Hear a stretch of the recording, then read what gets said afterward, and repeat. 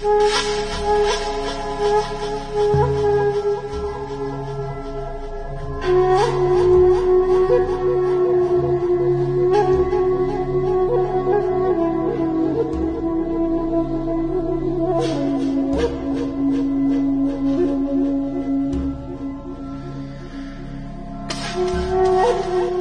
¿qué tal? Bueno, pues el día de hoy aquí en la cápsula, las predicciones para los famosos, bueno, pues traemos a nuestro Roberto Palazuelos, el diamante.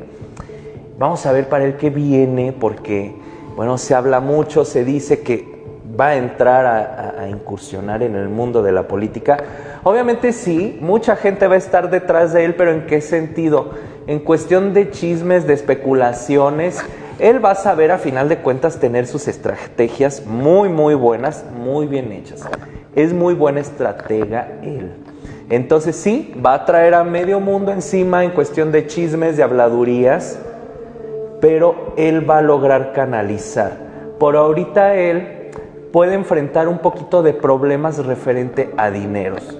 No negativos del todo, pero sí puede ser como que un desajuste, un desequilibrio para él, pues no grave, pero sí que le va a dejar así como que una buena lección de vida en la cuestión de los dineros. Vamos a ver cómo le va en la política si él decide entrar.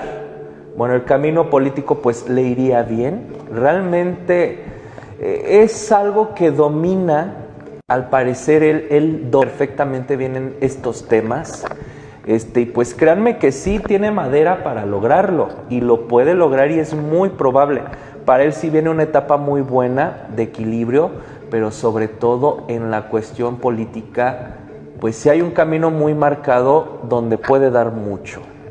Y bueno, gente preciosa, los invito a que nos sigan, a que nos vean todos los días miércoles en punto de las seis aquí mismo en MG Medios. No se pierdan su programa.